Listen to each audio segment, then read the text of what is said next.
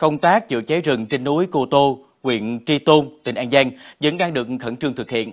Các lực lượng làm nhiệm vụ đang nỗ lực tiếp cận, xử lý triệt để từng đám cháy. À, tuy nhiên công việc này thì không hề đơn giản chút nào khi mà các đám cháy len lỏi trong các khe đá và hốc núi và lan sang các khu vực khác. Nắng như đổ lửa, các đám cháy cũ chưa tắt hẳn, những vị trí cháy mới tiếp tục xuất hiện. Công tác chữa cháy trên núi Cô Tô đang rất khẩn trương.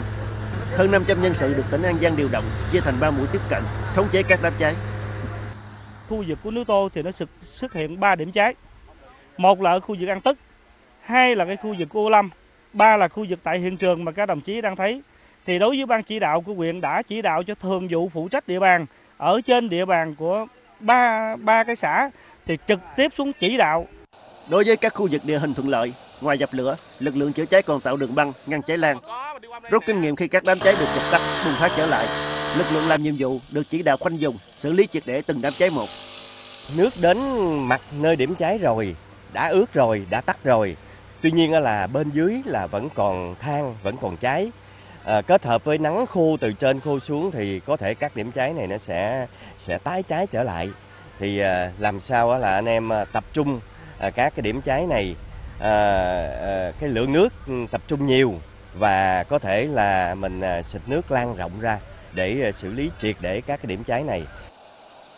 Có mặt tại hiện trường, Bí thư tỉnh ủy An Giang Lê Hồng Quang yêu cầu lực lượng tham gia chữa cháy phối hợp chặt chẽ, khẩn trương dập lửa, không để cháy lan sang các khu vực khác. Công tác chữa cháy phải thực hiện khoa học, đảm bảo an toàn tuyệt đối cho lực lượng làm nhiệm vụ. Rừng huy động tối đa cái, cái, cái, cái mấy cái phương tiện là là có cái phương án phối hợp cùng với lại ờ, chỉ tôn để làm sao dập tắt cái đám cháy này còn phòng ngừa các đám cháy khác ở các nơi nữa. Các vị trí tiếp cận được, lực lượng làm nhiệm vụ cơ bản đã khống chế được các đám cháy. Riêng các khu vực hiểm trở, núi cao, việc chữa cháy rất vất vả. Một khó khăn nữa là vào ban đêm mọi hoạt động phải tạm dừng. Đây là nguyên nhân khiến các đám cháy âm ỉ kéo dài.